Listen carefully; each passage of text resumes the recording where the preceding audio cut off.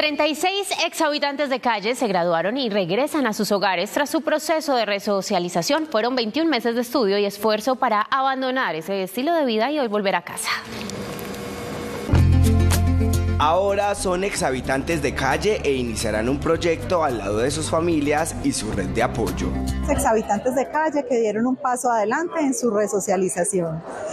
Estuvieron de manera voluntaria en un proceso que duró un año y ellos recibieron eh, dormitorio, salud, alimentación, clases de arte eh, y más que todo un enfoque para volver a rehacer su proyecto de vida. De toga, birrete y junto a su familia, los 36 exhabitantes de calle llegaron a su graduación.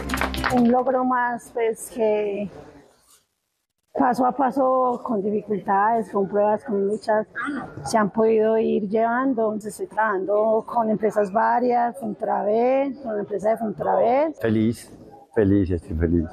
Creo que es el día más feliz de mi vida. Yo estuve 40 años deambulando como un zombie, sin un rumbo fijo, sin metas, sin propósitos. Y hoy en día pues ya tengo fija la mente donde espero estar. Actualmente 208 ciudadanos están vinculados a los procesos de resocialización que lidera la administración distrital. ROA premia a las familias paisas. Reúne empaques que sumen 10 kilos. Llévalos a los entregas autorizados y participa en el sorteo.